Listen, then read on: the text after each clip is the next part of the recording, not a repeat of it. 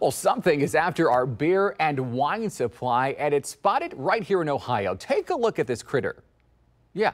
This is the invasive spotted lantern fly, which was first discovered in western Pennsylvania a few years ago. This fly has now hitchhiked its way to parts of eastern Ohio. It's known to feed on grapevines and has local wineries and even breweries quite worried the main problem is that you know it's going to increase the cost of production of, of some of these these crops and and and you know a lot of times those costs get passed on to consumers Hey, if you happen to spot one of these spotted lantern flies, ODA wants you to snap a photo and port it to them so they can continue to track their movement movements across the state.